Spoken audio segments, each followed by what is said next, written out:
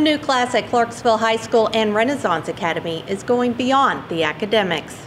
we're building those character traits in our students and then they're going to you know have better study habits they're going to be more responsible they're going to learn to collaborate better with their peers helping teens be successful in school.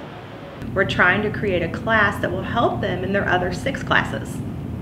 The goal of Freshman Seminar is to teach students study skills, time management, financial literacy, digital citizenship, and more. I think that what we learn in freshman seminar is important because we're learning about how to be able to open up with people and learn communication skills and learn different things about how to switch from people's point of views and kind of learn how to deal with different problems that we're going to need later on in life. It'll make you more prepared for college and just getting ready for 12th grade and all the other grades. The class also features trips to see colleges and special speakers on hot topics such as bullying and depression.